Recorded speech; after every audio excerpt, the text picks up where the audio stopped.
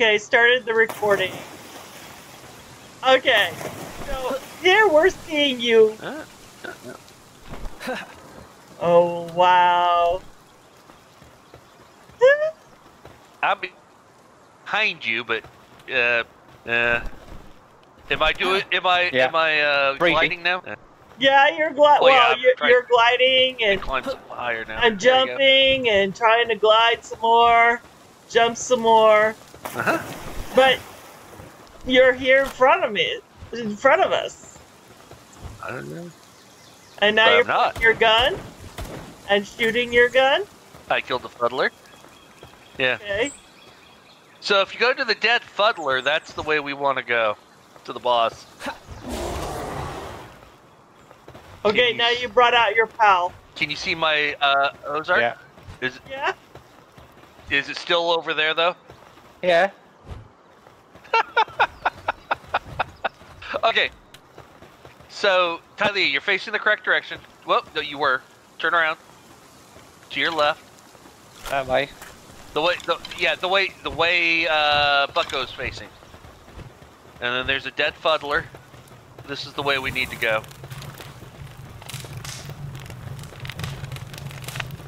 That is funny. And this should be the boss room up ahead.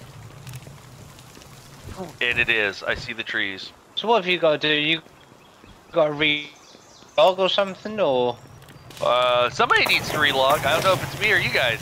But if we do it in the dungeon, we, we leave the dungeon. That's why I said we, we can't really fix this right now. Right. We gotta finish the dungeon first. Uh, yeah. So it so the last patch or so fixed the dungeons. Uh, it takes a minute for the boss to spawn. I guess they didn't like people being able to just glance in, see the boss, and uh, walk away. You had to Ah, reset it. like, you actually have to come in and Yeah.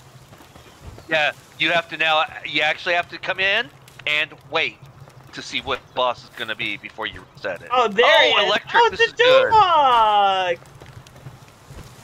Dewhog. And it's Yeah. a hoglet. Well, Oh, Yeah. let me let me uh, rein Oh, in. oh, good. I, yeah, I got, I got one of the hoglets down. Uh, for you, Bucko. sorry, I, The- I can't see you. I, you see the hoglets though, right? You see Yeah, the yeah, hog- yeah, yeah, yeah. One of them's a little bit low. And the other one's dead now. So go capture that one living small Jolthog. There you go. And I'll work on the uh, boss here without killing it somehow. Uh, ha! I will pick you to death. Come back here. Let me pick you. When it gets around 200 life, start throwing balls. Runebane, you're actually invisible to us. I know that. I know that. But he can see the Jolthog, right? Yeah, yeah, yeah, yeah. The bu- like I said, when it gets to 200 life, balls at it. You don't need. Uh, Okay. All right, throw balls You should be able to throw- There you go.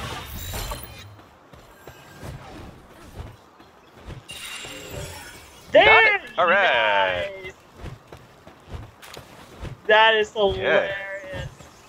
This is some glitch. Yeah. I've run out of arrows now. Yep. Yeah, I know. Yeah. Yeah. That's why we're gonna go back to. Well, that's Okay, not the reason we're going back to base, but There's one. the reason. stairs. And every dungeon has two chests at the end.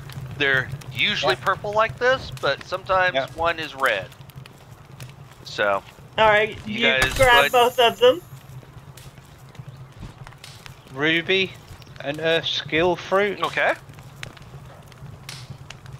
Ruby is a sale item. Sell it to the vendor. And fire, uh, fire skill fruit flare Okay. arrow, times one. So come to the uh, purple crystal and press F to leave the dungeon.